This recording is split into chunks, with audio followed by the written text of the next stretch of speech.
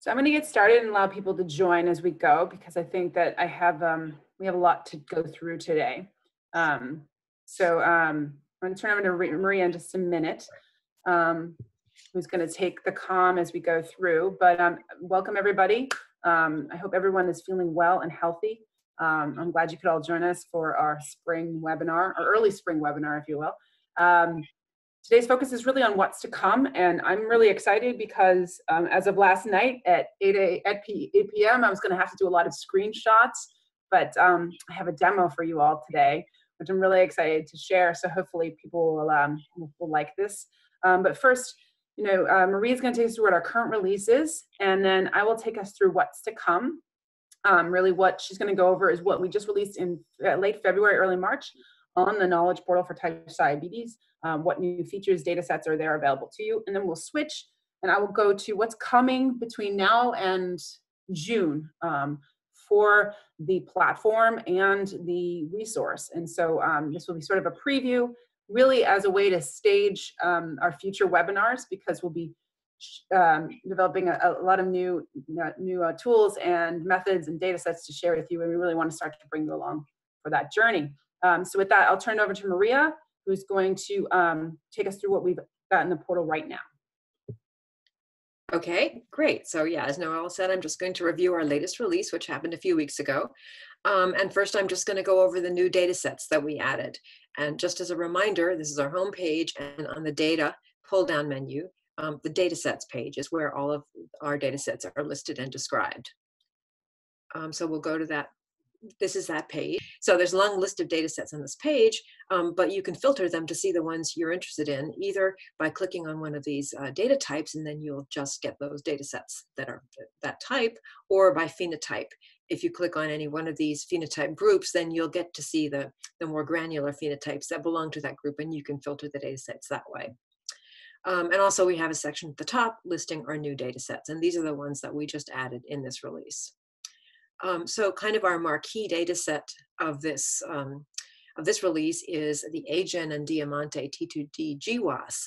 Um, it's a very large, uh, over 433,000 um, GWAS um, of East Asian individuals. So this just eh, um, dramatically expands the, the East Asian ancestry in the portal.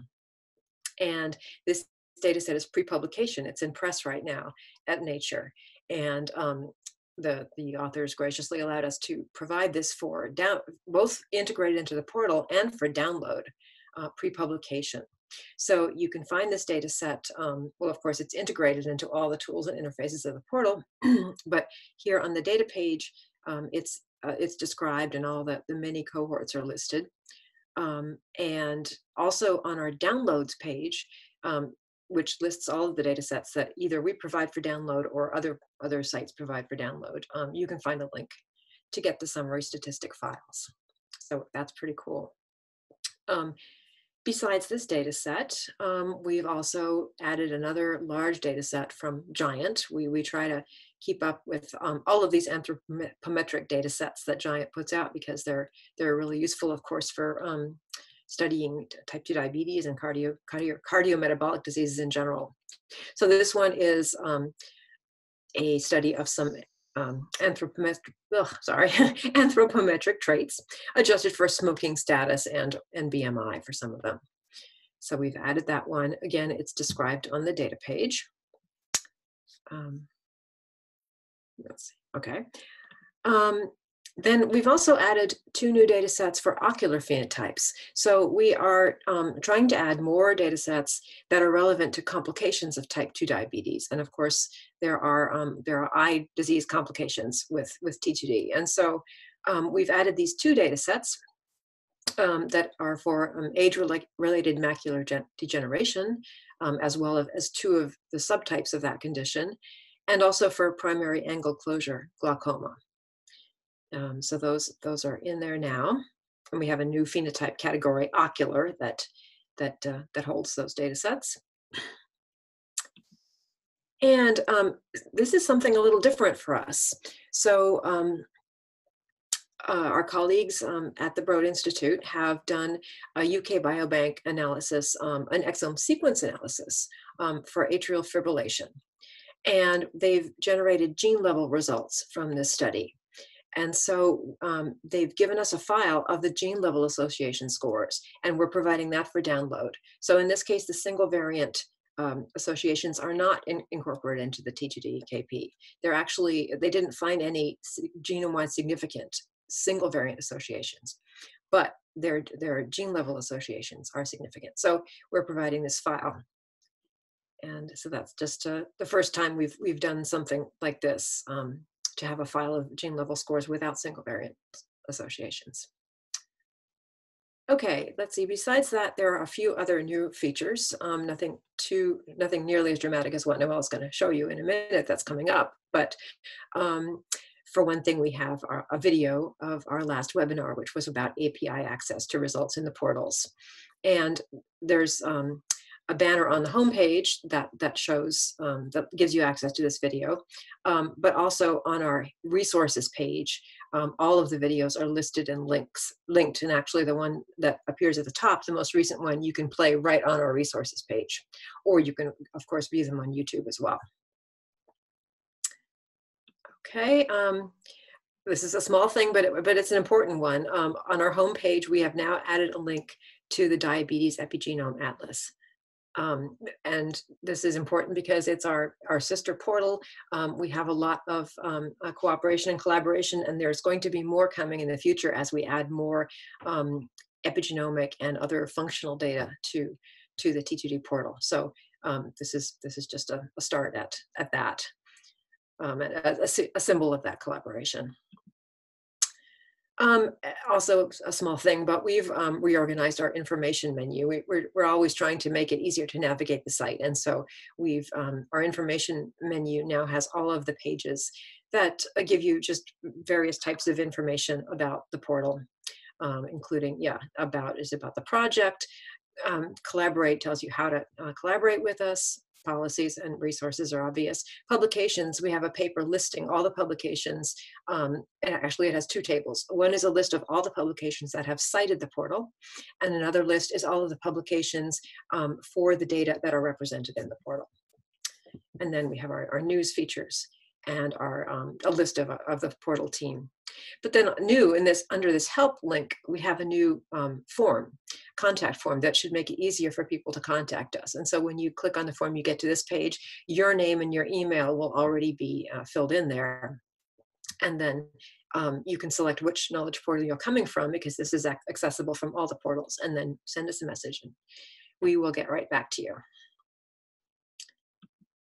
Um, Okay, and finally, we have uh, we've written up a document. We often get questions about, you know, how do I send my my summary st statistics to you? Um, and so we've um, we've written up a document um, that really describes that in detail. So um, this is our collaborate page, and on this page we have a link to summary step um, instructions. And this is only the top part of the page. Oh, sorry, I'm I keep scrolling by accident. Um, this is only the top part of the page, but there are a lot of details about what kind of files we would like, what format, um, and so forth. Okay, so that is it for me. Let me try to, whoops. Oh, stop the share. Okay, I'm handing it over to Noel. Okay, it's all yours. And you're, you're muted, Noel. Thanks, Maria. That was great. All right, I'm going to share my screen and um, take us through the rest. So let's give me a moment while we all right. Can folks see my slides? Yeah, I'm assuming you can. Looks like you can. Yes. Right. Um, so I'm going to start off kind of orienting us to where we were um, some time ago, because I think the portal started with such a very simple idea almost four, almost five years ago now, um, to make genetic and related genomic data more broadly accessible and useful, with a uh, with a goal to make it um, ideally have an impact on our ability to understand and treat human disease and health. That was its simple goal. And I think what we have achieved quite well, I think we, uh, to address this first opportunity and challenges for diabetes, you had a motivated research community who was willing to share data and generate data at the scale we needed from a human genetics perspective. To that end, there have been 403 loci uncovered for type 2 diabetes in recent years. Um, and I think what the portal has done very successfully so far is represent those results to you in an authoritative, definitive manner through many different means um, through our predicted diabetes effector genes, through gene pages, through variant pages, through the ability to just see these results aggregated in one place. That was sort of the first challenge that we aimed to address with the portal over the past couple years. And this has been um, something that we've enjoyed doing and continue to do because the genetic data sets are still growing, growing in complexity in terms of sample numbers, but also in traits and the richness of the traits. So that's sort of our first opportunity and challenge. But for many of these loci, we don't know the gene or the variant, thus not really knowing the mechanism. So we have a new challenge for us. We need to understand function and mechanism of many of these loci. And this is not an easy task. This is a lovely um, little graphic that Mark McCarthy made and basically indicates that research is needed in many areas. There are many data types, there are many methods that need to come to bear and be integrated in a fashion that we're still learning how to do. And so for us, we see our, our mandate is over the next couple of years to take on that new challenge and shift our function, or shift our focus in the coming years to function to help us understand what is the variant, what are the regulatory elements, and what tissues are these variants acting, what gene is actually happening, even if you just know the locus, and then what are the pathways, and hopefully what are the mechanisms. So there are foundational data sets needed for this. And we've been very lucky because um, there are a lot of technological and computational advancements that have created resources, both maps and catalogs, and um, resources and sequence data that allow this to be possible through these foundational data sets. But also, there are a host of different data sets and tools um, that we need to bring to bear. But the first activity is to catalog and integrate these resources, and moreover, to allow you to visualize them. So this is an opportunity for us we see in the coming years as well. And these gaps we must address are what are the needed data sets? What do you need to go from variant to, gene, to function? What information must be captured and retained? We know this very well for human genetics data. We know what we need to track for metadata in the phenotypes how the QC was done, how the samples were treated.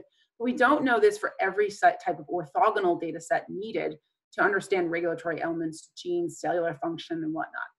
We also need to um, understand what methods are needed and how they are validated and represented.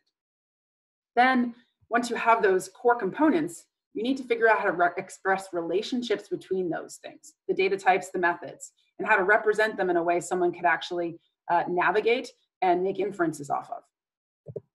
So just to put it, to sort of summarize it, uh, the next iteration um, of the Types 2 diabetes knowledge portal um, really will be to marry the best of the community-driven data um, and represented uh, that we've uh, aggregated so far and represented platform and software architecture we built for human genetics with new data types, methods, experimental approaches from the functional genomics community. The goal is to ultimately represent them in a fused platform to deliver insight for mechanism, magnitude, and markers for diabetes, effector genes, and complications, moreover. So what are we doing to prepare for this? And that's really the, the focus of the rest of the talk. So the first is to, first most important thing is our foundation. We have to expand our data and software platform to respond to the wealth and the diversity of data coming, both the current data that Maria just mentioned and coming. So I don't know if you noticed, so this is our current platform actually. So this is, you've seen this slide many times. I think we show this in every presentation. This describes the AMP T2D data and software platform that we've built over the last five years. It couples everything from data ingest, how we interact with collaborators and public resources to bring in both individual level data and association statistics, where we store it currently in a MySQL database. And we have a knowledge graph that represents the relationships of all these results coming from both our DGA, which is our integrated um, epigenomics node, and our European node for human genetics data at EBI, all culminating in a representation on the knowledge portal as you know it today. So this is the stable platform that we've built so far. But we've noticed that we need to respond to the greater challenges. So the first is exponential growth of data. So if you look, this is over the past year, if you've seen the uptick in data sets and moreover traits that we've taken on in the last year, it's pretty impressive but this also poses a challenge to us in representing and storing this amount of data. So first change to the platform. Um, Jeffrey Massung, who sort of leads our engineering team at the, at the Broad, um, has, has worked to engineer a brand new storage system for us based on cloud-based Amazon S3 buckets and Hadoop. A lot of technology there, but more of what it means is we've totally rebuilt our database to store these data from a MySQL database to these two platforms to allow us to respond to the greater need of data coming in and have data represented faster. So that's one major technological change we've been working on in the past couple months. The second is we have to process and store the results from new and incoming data sets. So both the genetic data sets, but also the genomic data sets that will be coming in from our partner DGA. This will include Hi-C data, ATAC-seq-peaks, EQTL methods and results. How, how do you store all the representation of the results when you run this against the genetic data and the raw genomic data and then represent those results? So to that end, we've taken our knowledge graph that used to represent this, which was not scalable to the amount of data types we need to bring in, and changed this to something that Jeffrey developed with some of the engineers called the bioindex, which allows us to store and index the links among the biological entities and then represent them in a much more fast and robust way on the portal. So this is the new framework that we will be building and putting forth in the next iteration of AMP 2.0. What's awesome is that this resource to me needs to be represented. All the current sites are powered by the exact same data and software platform. Um, the development of the source was enabled almost entirely by the AMP program. There are, there are four sites publicly available right now that they're hosted by this platform. The resource includes three nodes, the Broad, EBI, and DGA, different components. It has six software stacks and they're growing. The data index system, LoamStream, LocusZoom, the aggregator, bioindex, and all the portals. And this is to grow. Our foundation is in human genetics. So we thought it was really appropriate to start naming this resource and really coining it as the foundational entity that is powered, that is, that is supported by the AMP T2D program. we sought to brand this so that we can always sort of mark what we're doing for other community portals as we go forward. So we sought to brand it in a, in a way that will be apt for both its mission and its structure. And this will allow us to enhance the current KPN website with the complete technical documentation, the GitHub repos, and all the API information needed to access the underlining results in the portal. So for that, um, we've sort of branded this new name, and hopefully you all like it. The, the portal, I mean, sorry, the platform, so data and software platform will be renamed the Human Genetics Amplifier. And this has been some work that many of us has done, and actually Maria came up with the actual name for this, and many people liked it because I think it really represents the fact that our roots are in human genetics, but our goal is to amplify the knowledge and the results from that to function.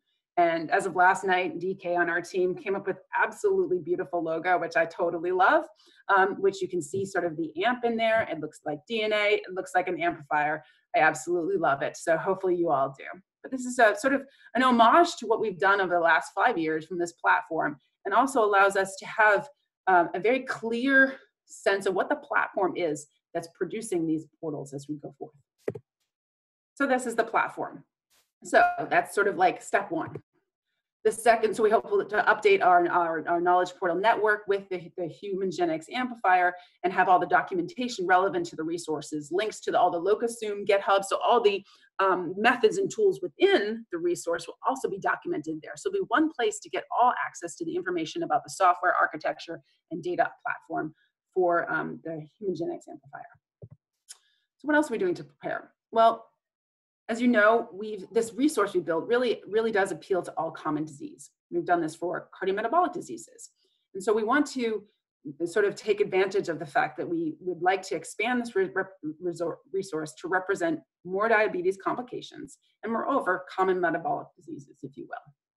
So we're very lucky for the last sort of four years now, we've worked with collaborators who are like-minded. They have human genetics data of the same scale and magnitude, but in related diseases. So first of which was the cerebrovascular community who had rich stroke phenotype and genotype data um, from that were deeply phenotyped and done in the same way that the diabetes portal was done in terms of like a community together has generated the best practices of results and standards, they want a place to represent them.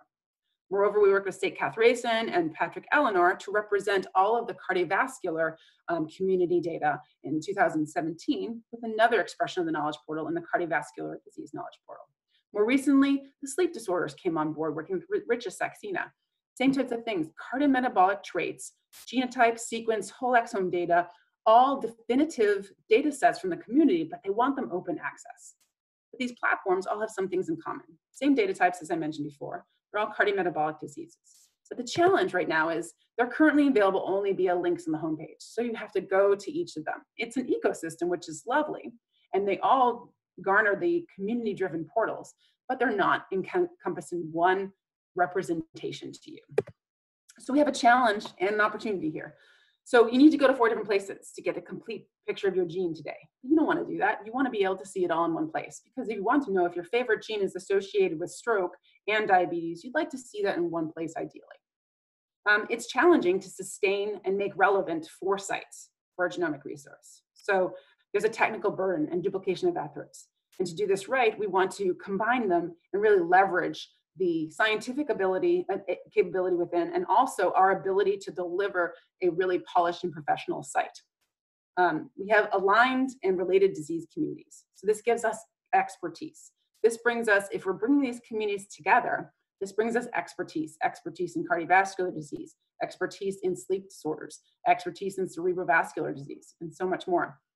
So our scientific goals are much the same. In many of these cases, they have hundreds of loci they've identified and they don't know the gene and the variant. The challenges are the same. So we believe an expanded resource will respond and serve a wider research community. It will garner that expertise that we really need. If we bring them together, it will provide a single landing spot. A merged resource allows you to query across traits. This will enhance the performance and decrease the technical burden and maintenance of a and allow a maintenance of just a single resource.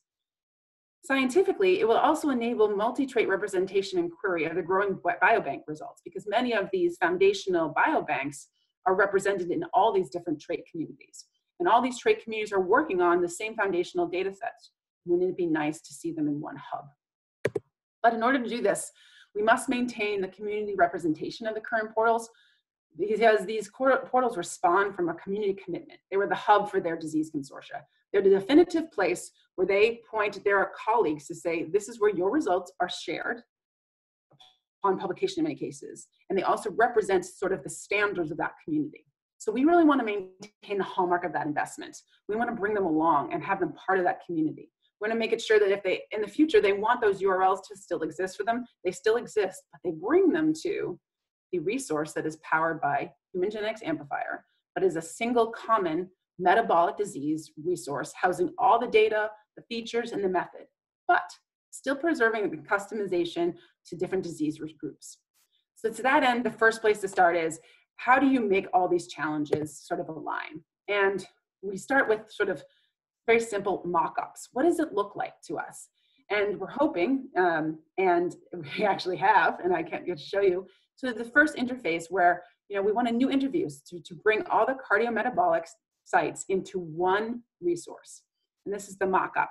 And the first thing we had to do is figure out how do you have this common resource, but then allow a user who really cares about cardiovascular disease specifically to go into that exact same window, see that same community data set, and feel like they're in the same enclave, if you will, but also be able to navigate around the common metabolic diseases that are also brought to bear.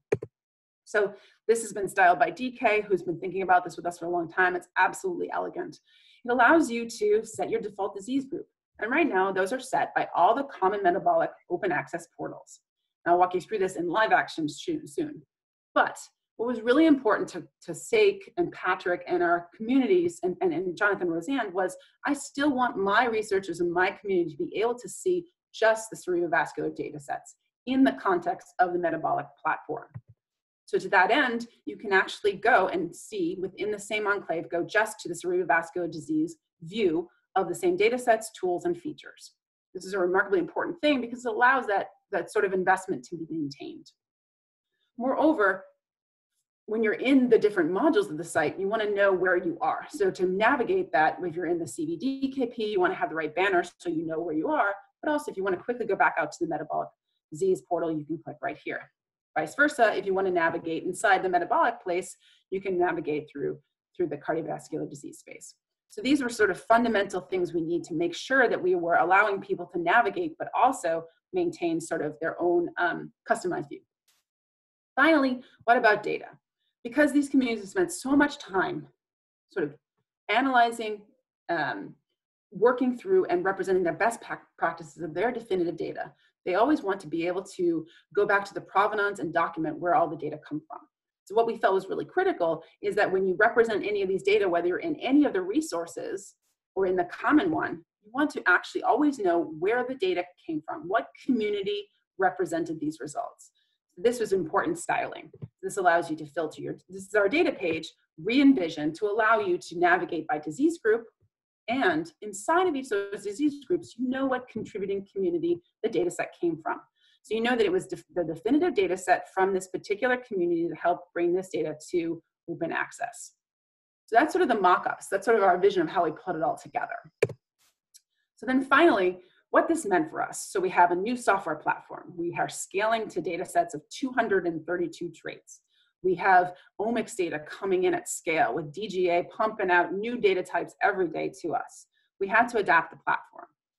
So also, because we wanted to create a new resource, which you just saw me give you the mock-ups, this warranted a new framework and a new user experience to serve and represent these results. So over the last year also, the, the other reason we have also noticed, which I'm just very glad to know, is a significant uptick in our usage. We went to, we went almost doubled in our weekly usage on the portal in the last year. Not sure why, that's great. Um, we can discuss why later. We've also, as I mentioned earlier, increased our data sets. So this required a new, a new framework. Why? Well, you might have noticed, and you know, because we are a scientific resource, we are open to always doing better. If you go to a gene page on the current portal, you see this lovely spinner for quite some time. And I think that's, you know, that's fine because you're loading a lot of data, a lot of tools, but we want to do better. So I'm going to show you today is how we've actually worked to do this. And I have never done this before. I actually mean this in the entire time I've done with the photo, I've never done a live webinar demo because I've always said it can break, something can go wrong, it's not fast enough. Uh, Maria's never given one, but I'm gonna do it today. And that should tell you why I think that this is really cool. So this team led by Jeffrey and DK has worked very hard to give us a demo of what I just showed you. So we're gonna go through that right now. So with that, I'm gonna switch to a demo. So give me a second. So, um, so as of today, so this is the current portal. I just thought it'd be worth sort of taking you through. So if you go to SLC38, which is our, you know, our hallmark gene that we use, you're still loading. You're still loading. This isn't because I have a bad Wi-Fi. This is because we have really reached a pinnacle of like what our current platform can handle. It loads just fine and you can navigate for it and it's great, right? But watch this. It's still loading. I'm gonna go to the new site. So this is a beta version, not for public consumption yet, not completely done, but just to give you an idea of where we're headed. So this is what we're terming right now as we move forward. Um, this, this might be subject to change, the Common Metabolic Disease Knowledge Portal. And there are three tabs which you're used to seeing, but one new one. Sorry, two tabs which you're used to seeing and one new one. First, explore by region, which you're used to seeing, and I'll walk you through that momentarily. Second is explore by phenotype. And the third, perhaps my favorite, is explore by default data set data group, excuse me. So the first, let's see what data sets you now have. So if you go here, you now see all the data sets, all 200 and some odd data sets for common metabolic diseases, all organized for you with a contributing community represented. So you have the new data sets that just came out in the recent release, all the other ones. Now we've been working on another way to represent this because this is a huge plot, but it just gives you idea that they're now all in one place. You don't have to go to multiple resources if you want. If you want to do a variant finder when, the, when once this new resource comes live across all these data sets, you can. If you want to run a query, all the methods will be run across all these data sets and represented to you. So this is the first time ever. And to be honest, very personally, I'm very excited with this because I wanted to see this for a very long time. So I'm very excited. I got this at eight o'clock last night, so I was very, very excited. So what else? So you quickly can go back. Now, if you're a researcher working on the cardiovascular disease space, and you've been working in that group of Steve Lubitz, for example, he wants to get up at any of his talks and say, you know, we have contributed to this common metabolic disease resource, but if you want to see our data represented just alone, you can at any point click here on your set default disease group. And right now you'll default to click down to the current open access portals, and you can select cardiovascular disease. And you'll immediately see the skin you're used to, community representation you're used to, and the fact that it is powered by the AMPTT resource right at the bottom here, which you will be renamed the Human Genetics Amplifier. But you also can very quickly navigate back out to the Common Metabolic Disease Framework. So this, from their point in, looks just like the Cardiovascular Disease Knowledge Portal, but it has all the data, tools, and representation of the overall resource. but it still provides the community a place to always anchor their results to. So let's go back out to homepage. And we have this for all the different data sets. I mean, all in different communities presented today. I'll just quickly show you sleep, for example, another demo. Sleep is available as well. They're all available. So what's next?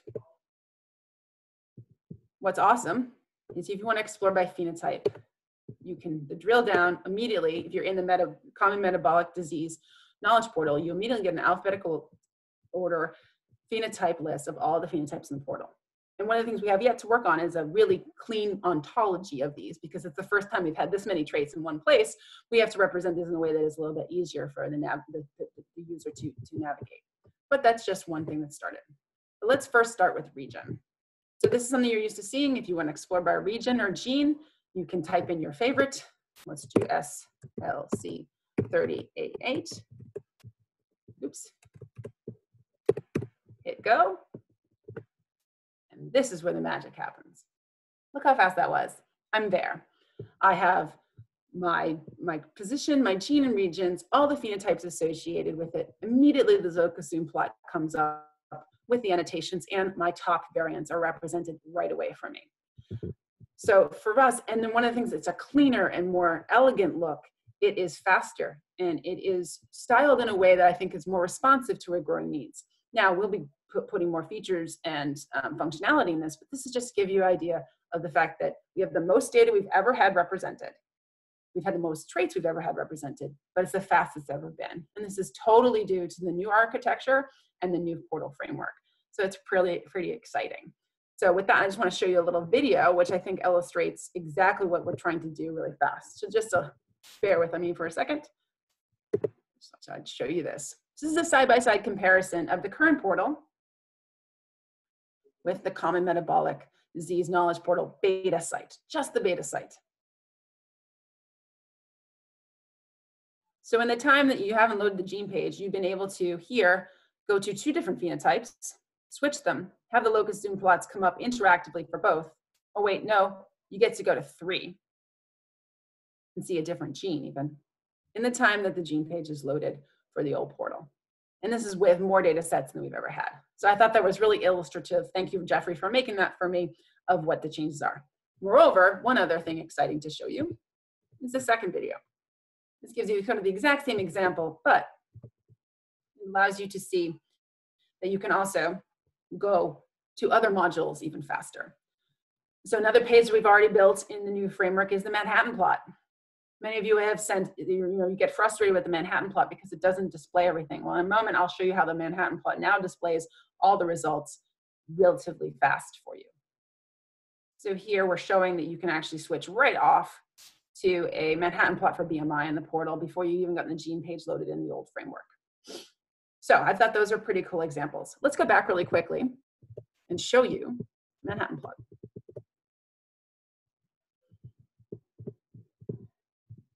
Let's pick diabetes. Hopefully it will up. There it is. There's your Manhattan plot. It takes up the full screen. It's clean, it's elegant. It gives you the top variants. They're clickable. You can see the results. Admittedly, we're still working on feature parity, but the idea is that it's there and all in one place and remarkably fast. Go back. So it's just a beta site. But what it does is it poises us for the new data sets, new tools, new uh, questions that we will need to be asking scientifically. The reason I say that is what you haven't seen in the portal is that we don't, we need to have more um, exploratory and layered visualizations because when you just see the results for human genetics, that alone doesn't help you. If you're trying to understand what variant or gene you might want to functionally study in a region, you need to layer different data types. We've shown you this with our focus table, with our variant focus table, with our genes and region tab. We've started to make inroads there and how locus zoom is representing different chromatin states. But that is sufficient for only certain things. If we really want to be in a position we're allowing somebody to, to have a integrative view, if you will, of genetic evidence layered with tracks, whatever they may want for different annotations, computational results. You really need a framework that, framework that is fast and responsive. So that is the reason for this change. So the coming months, we're going to be completing implementation of the site for feature parity. So the things that are in the old portal, bringing them over to the new portal as they're relevant. We're gonna be adding new tools and pending tools that are coming a long way. We'll be customizing the pages and the workflows to be more attuned to the scientific questions that we're trying to address. So be more about taking you from a region down to a gene, taking you from a tissue or a variant and allowing you to navigate based on whatever place you want to start. The reason we're doing this now is because there's going to be a change for you all. You're going to see data sets that you've never seen before in one place. You're going to have a new, new, new user experience. You're also going to have features that you might have known where they were before. They're going to be in a new place. So our goal over the next couple months as we start rolling this out is to share, to teach, and gather feedback more importantly. What's working, what's not, what's useful, what's not. And hopefully um, between April and June, depending on how things go, we'll be launching this open access to the world. Ideally, the worst case scenario, we'll be doing it with a big splash at ADA, but maybe we'll be doing it before, depending on how it, um, how it goes. I'll go back to my slides for a second. Um, so we, as you know, we have portals in other areas as well beyond the, the, common metabolic diseases. We have one for ALS, which is in a totally different um, area, which we don't have as much expertise, but we've worked with um, the community leaders there to represent that data. Moreover, we're very excited to share with you some coming um, events coming in the, in the spring. So first, uh, um, I believe at the end of this month, if all goes well, we'll be launching a musculoskeletal knowledge portal with colleagues at the IFMRS, um, particularly Douglas Kiel, who's been a remarkable um, partner in, in, in, getting this portal developed because they have had the same challenge we have had. They want to represent their human genetics data. I think they have something like 503 loci for bone, uh, estimated bone mineral density alone. Um, and the osteoarthritis community has some of the same challenges. But bringing their human genetics data leveraged with other omics data represented in one place has been a baby of theirs for a while. So we've partnered with them to collaborate and build a site for them on the same architecture, powered by HugeAMP, um, and hopefully made available later this month.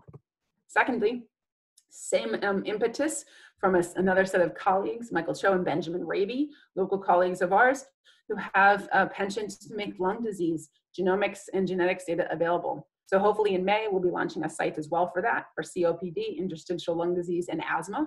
Um, all those communities are obviously motivated to do the same thing. We think this is also of value to us because these types of things are all common diseases. So I think we have the ability with the resource we've built, um, enabled by the AMP T2D program, to power these portals as well. So what else is coming up? We'll have another production re release in April. Hopefully we'll have an internal version of this new portal framework and the common metabolic disease resource for, for some of you to play with, play with and hopefully a, a, a public launch soon thereafter. New portal tut tutorials and demos. Um, hopefully, if we can all go to ADA, um, we'll have an Ansari event there and exhibiting booth like we always do. Um, so hopefully we'll see you all in person there. Um, as always, this is recorded and it's going to be posted here on our resources page along with other ones. Maria mentioned this earlier. Um, so in May, when we have this next webinar, we hope to have shared this version with you to get some feedback, have more features in it, have new tools potentially represented in beta form for you to play with, and then in July, we hopefully will be getting some feedback on this as really, really we advance this resource and officially launch the um, next round of the type diabetes knowledge portal for the next five years, hopefully. Um, so with that, I will conclude and thank the, the fantastic team of people that I get to work with. I mean, to be honest with you, the fact that at eight o'clock tonight, the team had worked very hard to get this demo up and running is a testament to who they are and how they care. So I'm really thankful to work with them and moreover, a great group of people across, um, across the, the ocean and across the country, Michigan, EBI, Oxford, and um, colleagues at San Diego, because they're just great people to work with and build this resource together. And moreover, the AMP partnership has been so supportive of us all these years to help us build this resource, give us great feedback, and um, really um, challenge us to do better. So that I'll, I'll uh, take any questions and um, any feedback.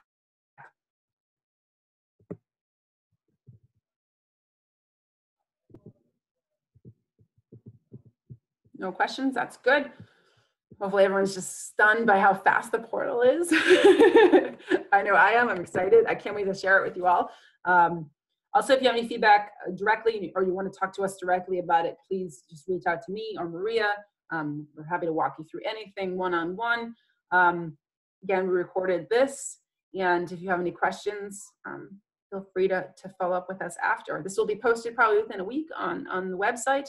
And um, we'll see many of you online over the next couple months before we see you all in person at ADA, hopefully. You know, well, this is Laura. I had a question. Yeah, hi, Laura. Hi. So it would be great fun to be able to see um, how the genetics data, how the genomics data is being incorporated in to the the portal and the different views. Will one of these um, sessions kind of focus on that? Yes, so I think the next one actually will really focus on that. One is, you know, how Locus Zoom has adapted to do that. One is we have a um, we have a focus table that has done some quite development around representing those data. And one is we're playing with um, using IGV, which is the integrated genetics viewer, which is a tool that GTEx uses, um, which is a very much based on the UCSC browser of the world, you know, allows a track-based view. So we're playing with several of these, and I think our next webinar will be geared toward that. But also, I think, particularly if you're like you, Laura, you have a really good sense of how to use some of these data sets and you're generating them yourselves. So I think we really want to have sort of some one-offs, um, some small group settings with you and Steve and others like that to actually ask how best to represent these because we have representation in DGA in terms of the raw data, right? But then the ultimate visualization of it um, will be in the portal. So this is something we have yet to fully figure Yeah, out. we'd So our webinars will be great around that. we'd love to be a part of that. so. Yeah, we'd love you to be a part of that. I don't think we can do it without you guys. that was great. Thanks, Noel. Yeah, thank you. Anything else? All right. Well, I ended early, which is rare for for for, for meetings, but that's good. Um, hopefully, next time we'll actually have more demos for you and things we can share with you broadly. Um, I hope this was, even though you didn't have the site to play with directly, I hope you got to see what's coming and um, you'll check back with us in a month or two as we actually release release this resource to you all. So with that, I want to thank you for your time and attention. Oop, I see a chat. Oh, my thank you. you got it. We will. All right, everybody. Take care. Stay healthy. Um, we'll see you all soon. Bye-bye.